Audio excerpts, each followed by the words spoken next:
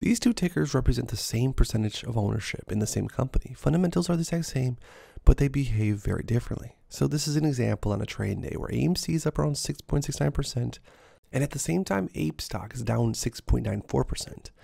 Is there a reason why they trade differently? Is there any manipulation going on? Comment down below what you guys think. After you sell a stock, do you ever come onto Twitter and bash it and the CEO for months and months? Of course not. You sell it and move on with your busy life. Nobody wastes times bashing stocks unless they are paid to do it or unless they are shorting it. The haters are bullish AF.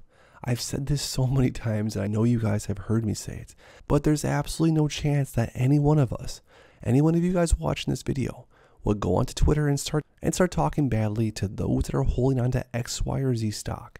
Especially if you have nothing to do with it, if you're not being paid to do it, if you're not shorting it. Why would you waste your time? The answer is you wouldn't.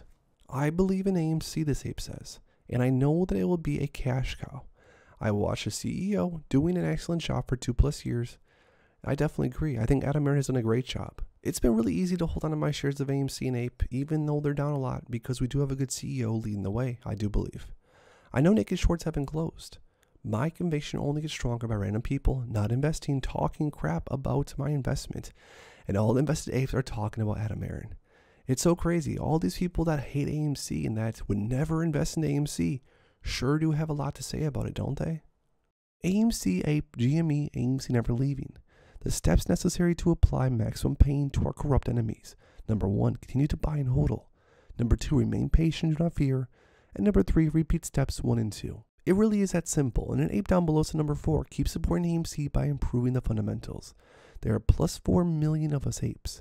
If we all bring friends and family to the movies, imagine the revenue. I'm not talking killing the thesis for shorting AMC. Let's obliterate it.